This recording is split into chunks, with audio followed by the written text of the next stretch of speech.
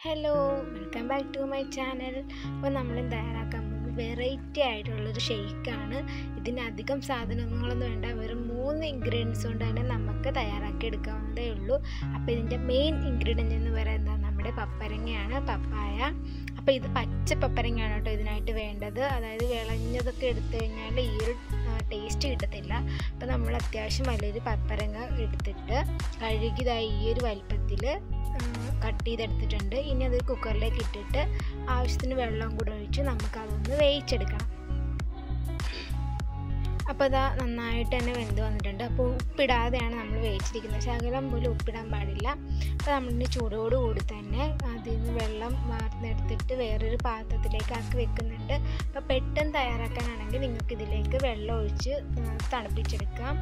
അപ്പോൾ തണുത്ത് വന്ന പപ്പരങ്ങൾ നമ്മൾ ഒരു സ്പൂൺ കൊണ്ടിട്ട് നന്നായിട്ട് ഉടച്ചെടുക്കുന്നുണ്ട്. നന്നായിട്ട് തന്നെ വെന്തത് കൊണ്ട് പെട്ടെന്ന് തന്നെ നമുക്കിത് ഉടഞ്ഞു കിട്ടും.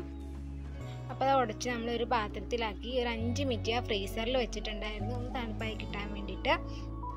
പിന്നെ അത് ഞാൻ ജാറിലേക്ക് നമുക്ക് ആവശ്യമായിട്ടുള്ളത്ര ഇട്ട് എന്താ ജാറിലേക്ക് ഇട്ട് കൊടുക്കാം. പിന്നെ അതിലേക്ക് ഒരു ടേസ്റ്റിന് വേണ്ടി അതായത് ഫ്ലേവറിന് വേണ്ടിയിട്ട് ഒരു മൂന്ന് ഏലക്ക കൂടെ ഞാൻ ചേർത്ത് കൊടുക്കുന്നുണ്ട്. ഓപ്ഷനിലാണ് നിങ്ങൾക്ക് വേണമെങ്കിൽ മാത്രം ചേർത്ത് കൊടുത്താൽ മതി. ഇനി അതിലേക്ക് മധുരത്തിന് ആവശ്യമായ പഞ്ചസാരയാണ് ഞാൻ ചേർത്ത് കൊടുക്കുന്നത്. നിങ്ങൾക്ക് പഞ്ചസാരയോ അല്ലെങ്കിൽ കണ്ടൻസ് മിൽക്കോ യൂസ് ചെയ്യാം.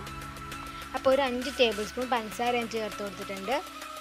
അപ്പോൾ അത് ചെറുതായിട്ടൊന്ന് അടിച്ച് വന്ന് എടുത്തിട്ടുണ്ട്. ഇനി അതിലേക്ക് നമ്മൾ പാലാണ് ചേർത്ത് കൊടുക്കുന്നത്. അപ്പം ഞാൻ കട്ടപ്പാലും കട്ടയാകാത്ത പാലും കൂടെ ചേർക്കുന്നുണ്ട്. ഒരു നല്ല തിക്നെസ് കിട്ടാൻ വേണ്ടിയിട്ടാണ്. അപ്പോൾ അത് ആ പാലൊഴിച്ച് അടിച്ചു വന്നപ്പോൾ ഈ ഒരു രീതിയിൽ കിട്ടി. ഇനി നമ്മൾ അതിലേക്ക് കട്ടപ്പാൽ കട്ടയാക്കി വെച്ച പാലും കൂടെ ചേർത്ത് കൊടുക്കുന്നുണ്ട്. നമുക്ക് നന്നായിട്ട് തന്നെ അടിച്ചെടുക്കാം. അപ്പോൾ നല്ലൊരു തിക്നെസ്സിൽ സ്മൂത്തിൽ നമുക്ക് കിട്ടും. അപ്പോൾ അതാ നമ്മുടെ ഷേക്കിയുടെ റെഡി നിങ്ങൾക്ക് കാണുമ്പോൾ തന്നെ അറിയാൻ പറ്റും സൂപ്പർ ടേസ്റ്റാണ്.